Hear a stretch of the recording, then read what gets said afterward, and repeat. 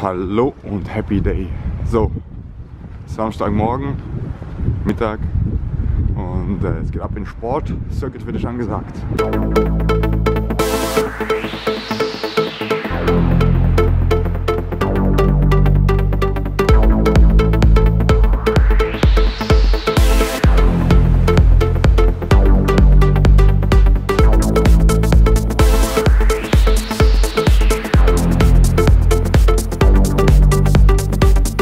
Mein Fiat, mein Fiat und, Unser der, Fiat. und der starke Bruder, der Abarth.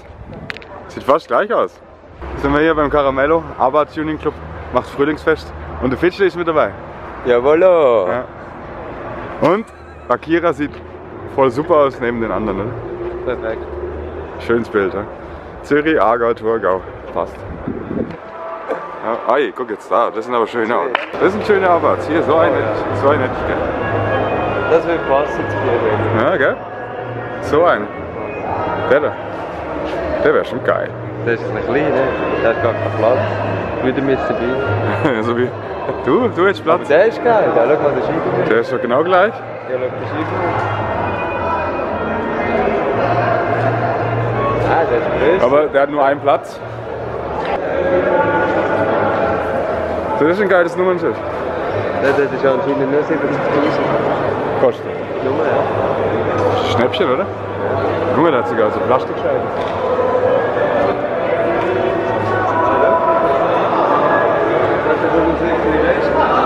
Das. Ja? Was?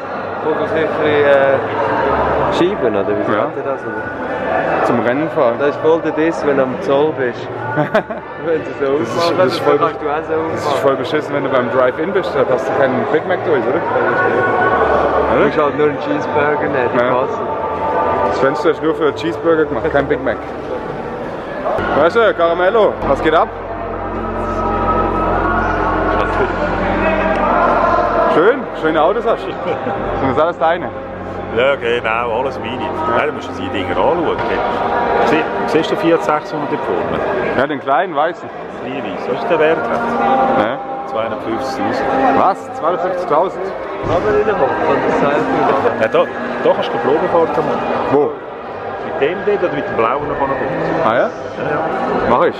Natürlich. Da war hier der Momo vom Abarth Club und der hat super geile Geschichte hier und zwar, wie heißen die Felgenringe, oder? Mellis Felgenringe, jawohl, richtig erkannt. Und da kann man, da kann man draufdrucken, was man möchte und die kann man sich ans Auto schnallen. Genau. Also, Ja, zeig mal. zur Erklärung. Ja. Mellis Felgenringe gibt es in verschiedenen Farben. Rot, grün, orange, alles was man will. Es gibt verschiedene Sachen. Wichtig ist, früher hat man Werbung gemacht auf Nummernschildträger hinter drauf. Das ist out. Heute macht man was ganz was Geiles. Man nimmt Mellis Felgenring, kann das individuell beschriften, lackieren, was man will. Der Fantasie keine Grenze gesetzt. Man kann Bling-Bling-Steinchen drauf machen. Also endlos, man kann alles machen. Wie werden die befestigt? Ganz einfach, man drückt den Reifen ab, macht den Mellis ins Felgebett, zieht ihn drüber, pumpt den Reifen auf und er ist dran. Großer Vorteil ist, die Felge ist eigentlich geschützt, wenn du am Randstein. Ah, Und da gibt es jetzt verschiedene Versionen. Mellis ohne Aufschrift, dann kann man es designen, wie man will, oder wenn man ganz verrückt ist, lackieren nach Ralfarb. Also wie gesagt, Fantasie, keine Grenzen gesetzt. gut. Wir haben ja ein Beispiel da vom Caramello. Caramellos Fleischshop hat ja seine eigenen Felgenringe schon, oder?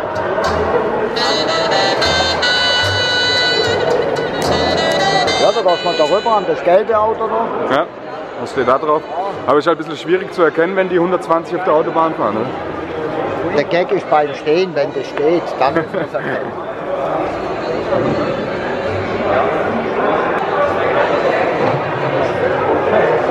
Weil Ja. der Gag ist ja, wenn das Auto parkt, oder, dass man die Werbung sieht. Und es fällt auf. Wenn man jetzt die Auto, komm, wir laufen mal da ein paar Meter zurück, dann siehst du den Unterschied. Jetzt guck dir mal die drei Autos an, der hat grüne Felgen, oder? Da ist nichts, da siehst du sofort, da ist ein gelber Ring, fällt Ja. auf. Bei dem ist der rote Ring, fällt sofort ins Auto. Das ist so.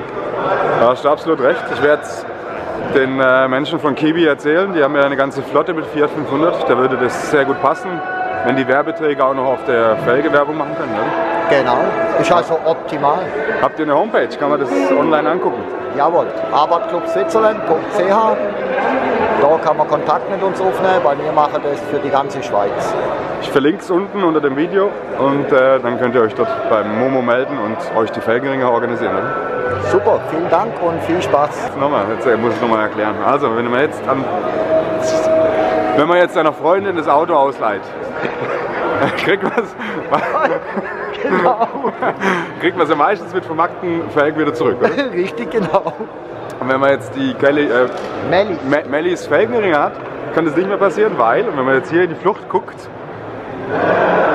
so, der Ring ist über der Felge.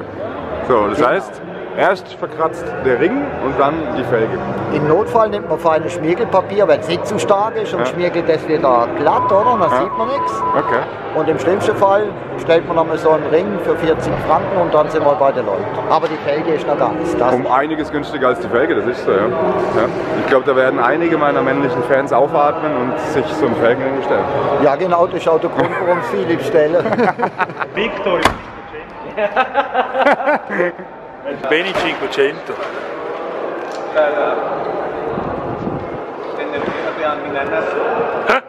Muss ich ein bisschen näher rangehen.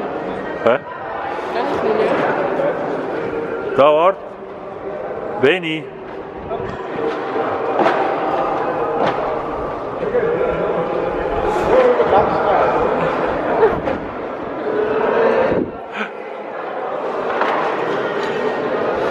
Schau mal da. Der Arm ist fast länger wie, der Arm ist fast länger wie die Tür.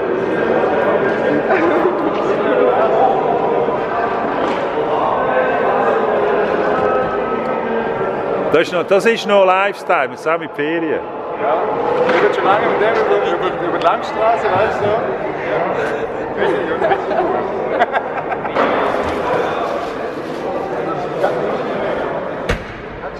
Aber ganz ehrlich, das war immer schon so ein kleiner Wunsch von mir, einen alten 500 zu fahren. Ja. Tatsächlich. Das wäre echt gut. Und wenn es dann noch ein Abarth wäre, wenn die nicht so scheiße teuer wären. Ja, das wäre das wär großartig. Guck dir das mal an. Weißt du, mit, mit so einem Motor, da fixt auch dein Mechaniker richtig. Ja, da hat er, richtig, so. hat er richtig zu tun und so. Das ist genau so. Das ist, äh, das ist eben noch die alte Zeit. Da hast du noch Schrauben, keine Elektronik und nichts. Du kannst einen Schraubenschlüssel in die Hand nehmen Ja, ja. und äh, loslegen. Ja, und die Felgen sind natürlich auch geil. So groß wie mein Schuh. Ja. Fährt gar keiner da. Was? Wieso? Ja, weil sie sind schwarz. Wegen Da der, Fa wegen Farbe. Da ist ein weißer. Weil sie wüst sind. Wegen der Farbe. Was? Nur wegen der Farbe. Sie haben einfach nicht so schöne Farbe. Es kommt gleich noch ein Babyblauer, der gefällt dir das nicht. Ja, ja. Da, Ja, ja. da hinten hat schon ein Babyblau. Das mitgekriegt mit den, mit den Felgenringen, die sie Ja. hier verkaufen. Da Ja, gehen die Felgen nicht mehr kaputt. Da kannst du auch der Niki einfach das Auto ausleihen, ohne dass die Felgen kaputt gehen. Dafür ist nachher mein Name nicht mehr drauf, draufgeschrieben ist. Ja, dann kannst du wieder nach draufschreiben, hat der Momo gesagt. Ah, das ist gut. Ja. Dann brauche ich solche. Ja, und, und, es in ko- Orang. und es kostet auch nicht so viel. Orang. Es kostet nicht so viel wie, wie eine neue Felge. Orange oder Violett. Kannst du alles haben. Ja. Okay. Heute, heute ist ein Sonderangebot, 120 für vier Stück. Und so geile, was kostet so geile Bremsklötze? Die musst du mit dem gelben Nagellack von Niki selber machen. Haha. Hat keinen geilen Nagellack. Nein, habe ich keinen. Was hast du für einen? Okay. Ja, das, ist, das sieht doch auch schön aus, guck dir. Ja. So, deine Bremszettel. Im Notfall, ich- im Notfall nehme ich einfach rote Felgen. Ja, jetzt darf ja niemand Fiat mit richtig äh, Leistung fahren. Fiat 500 Competizione 595. Richtig Leistung hat er. Er, er geht, musst du dann nachher. So, Gut. Also, sind wir ready? machen wir Radio aus, brauchen wir nicht, wir brauchen einen Motorensound. Schade, oder? Nach hinten raus. Also, bis nachher. Ciao Carmelo!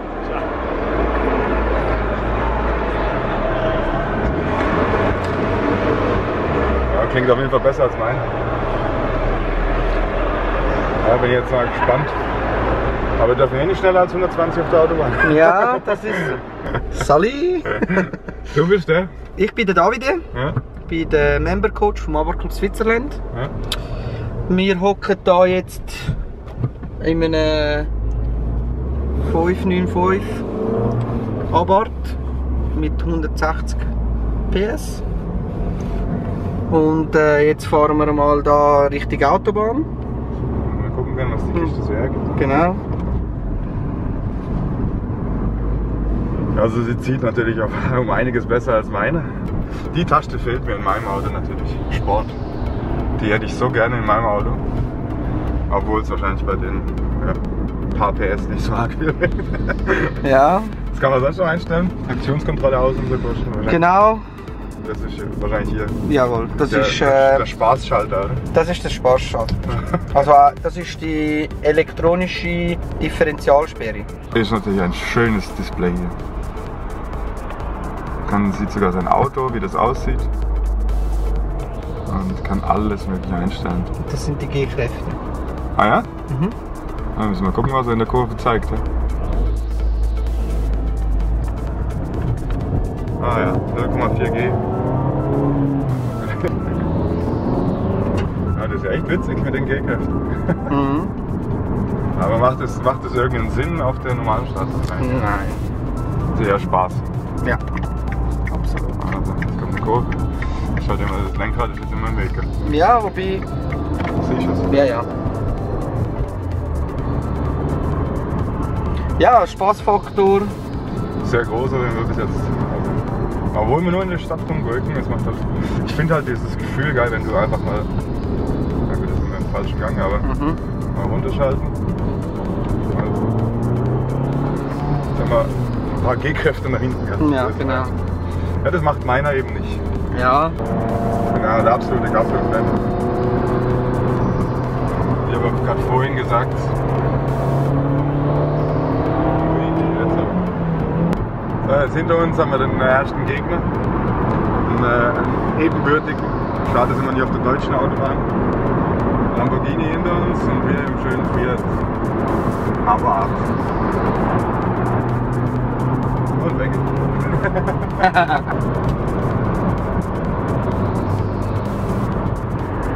Doch ab. Und tschüss.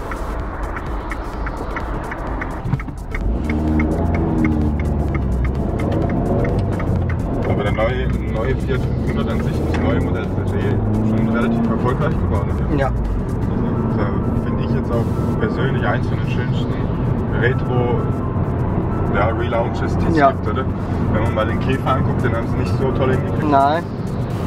Der Mini ist auch im Gegensatz zum originalen Mini Ja. schon doch different. Ja, aber 100 Durchstart und 120, weil mehr geht halt nicht in der Zeit.